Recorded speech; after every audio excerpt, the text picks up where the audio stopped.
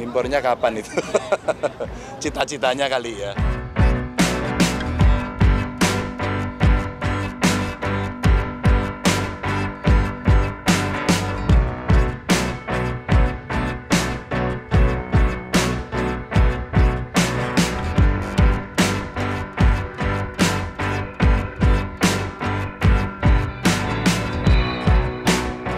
Juga akan mengimpor Kenapa? sapi satu setengah juta nih Pak untuk program susu. Ini ada tanggapan Pak? Ya. Impornya kapan itu?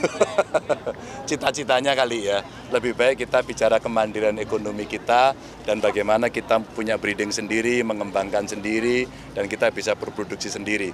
Kalau impor kan banyak orang yang mampu. Dan inilah yang membikinkan yang membikin sering kali kita sangat bergantung dalam soal pangan dengan dunia lain. Maka kita tunjukkan bahwa kita mesti serius urus soal politik pangan ini. Kan nggak Oke. bisa semua setengah-setengah. Ya? Oke.